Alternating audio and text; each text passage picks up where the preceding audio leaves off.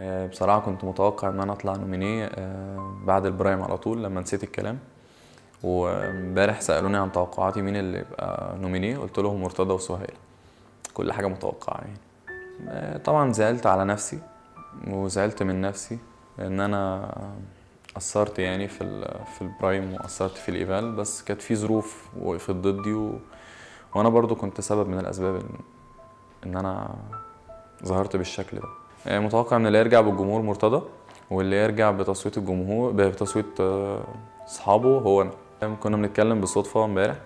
آه، أغلبهم يعني قال كلنا عارفين محمد وعارفين آه، إن هو يستحق إن هو يبقى موجود وما يستحقش النومينيه الفترة دي بس الأغنية اللي أخدها هي كانت سبب من أسباب الضعف اللي بان فيه أو سبب من أسباب نسيان الكلام لأنه ما كانش مركز.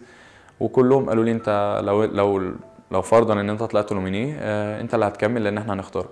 الاثنين صحابي والاثنين بحبهم جدا.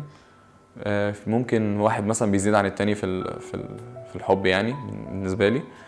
بس الاثنين يستاهلوا ان هم يبقوا موجودين يعني في النومينيه برضه آه، الطريف بالموضوع إن أنا أخدت أغنية بحبها اللي هي أغنية إمتى زمان بتاعت محمد عبد الوهاب.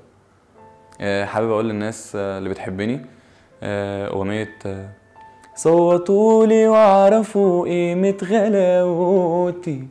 صوتولي اللي مش عارفين حكايتي.